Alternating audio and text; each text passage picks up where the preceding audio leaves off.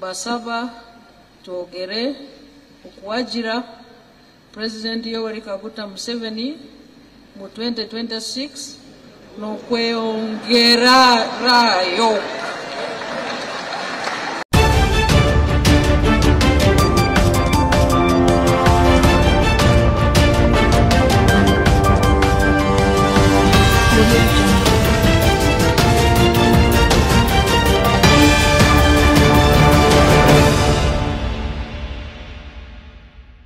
few days back, the president, through the vice president Jennifer Alupo, came out to announce his presidential bid for 2026.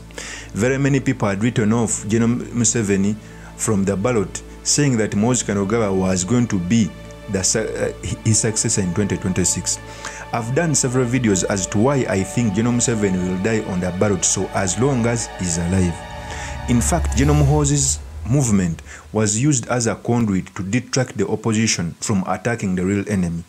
And I used to and I used to tell the opposition, unfortunately, many of them fell for this trap, saying that General was going to run in 2026. I've done several videos uh, showing you on how General Museveni is declaring for presidency. And in this episode, I've come to talk about how, he declared for president through his vice president, Jessica Jessica Arupo, what it means for our country, and most importantly, the study materials we can learn from the politics of our nation. But before I do this, I want to let you know that if you're new to this channel, please subscribe. And if you're watching this video from a different platform, please head on to YouTube, type in Sula Mawagali. There is a lot of content of this nature. If geopolitics and economics is what you want, this will be definitely the right channel for you to subscribe to. I dedicate this video to the political prisoner Olivia Rutaya, who has been in incarceration for more than three years.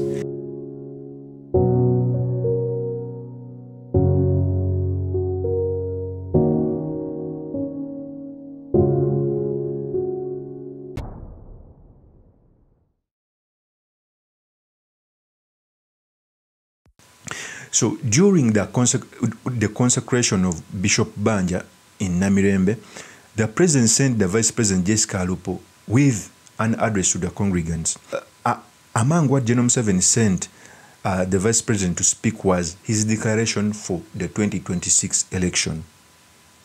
In fact, very many people had written him off, most especially those from the Muhoozi project. But before I speak on this, let me first give you the tape as Jessica Alupo, as General Museveni was declaring his 2026 presidential bid. Here is the tape. I would like also to appreciate the warm welcome which I have always been given in this cathedral. We have come here on many occasions and they have always given us a very warm welcome. Not just now, but even before when I was an MP, just a, a leader, I was always welcomed here. And the peace and security prevailing in the country, I would like to say that uh, Mbasaba, for President Yoweri Kaguta Museveni, mbasaba twogere okuwagira President Yoweri Kaguta Museveni mu 2026 n'okweyongerayo. So you clearly see that General Museveni, through his vice president, went on to declare for presidency. It is not the first time. During his birthday in Kololo, he did so. During the Chabazinga royal wedding, he sent the vice president and also did so. During the the, the bishop's consecration in Namirembe, he sent the vice president and did so. I kept on telling people that the Muhoozi project was just to detract, to detract the opposition. General Muhoozi does not have the prowess to lead this country. Even his father knows. knows. He just wanted to detract the opposition, but also sell him to the Ugandans, which the sale failed. And I kept on telling the opposition that they must not be distracted by the MK project because it was aimed at building new structures and energizing the NRM. We all know in the 2021 general election, General Museveni did not move as he was as he was supposed to be to do. So he sent General Muhoozi to start picking up structures of the NRM and also act as a threat to the NRM so that the NRM can wake up. Very many opposition leaders had failed for this trap. Truth be said, Museveni, la- the way General Museveni loves power, it is incumbent upon Ugandans to help him from this vice. It is no longer fashionable. General Museveni is so obsessed with power that it is becoming a danger to our country. Next year, General Museveni is going to be an octogenarian, 80 years. Nowadays, he moves around with a walking stick. So it means the more we have him, the more things are going to get bad, not better. You cannot tell me that a 45 year president failed to deliver some that uh, failed to deliver something and that he is going to deliver it when he's 80 years. It can never be possible. And putting in in context that he is even failed to build structures of of of uh, of building a, a prosperous Uganda. The problem with Uganda is transition, and we, had, we have failed to tackle that problem. And I'm very sure as they follows night that if we don't we don't tackle that problem, we are going to go where Sudan is, is, we are going to go where Libya is, we are going to go where failed countries are. Because they had presidents, military men who ruled their country for a long period of time and they failed to answer the question of transition.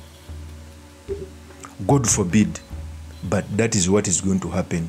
I'm not a prophet, but basing on the history of countries which have been ruled by military men for a long time, they end up go, going back in that cycle of violence.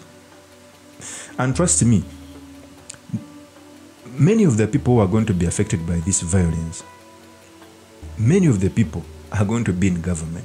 I know the common man will be affected, but many of them will die in exile. Many of them will run. They will even leave their beautiful houses. They will even leave their the money they, have, they stocked in their homes because they fear the, uh, the anti-corruption unit to, to hold them. They will leave them and run because we fail to tackle this problem. Why cannot be? Why cannot? Why can we not be like Kenya, where Moi did uh, 21 years and decided to hold an election where he was not a participant? Till now, the bedrock on which transition was formed was during Moi's era. There's always one person who starts it. South Africa was started by Mandela. Ghana was started by someone. Okay? But in Uganda, we failed and we had an opportunity to do. Of course, that's my opinion. Do drop me your comments by commenting about this. Thank you very much for listening in. If this is your first time on this YouTube channel, I implore you to subscribe, like, and comment so that I can be motivated to do more of such videos. I'll see you on another one. Peace.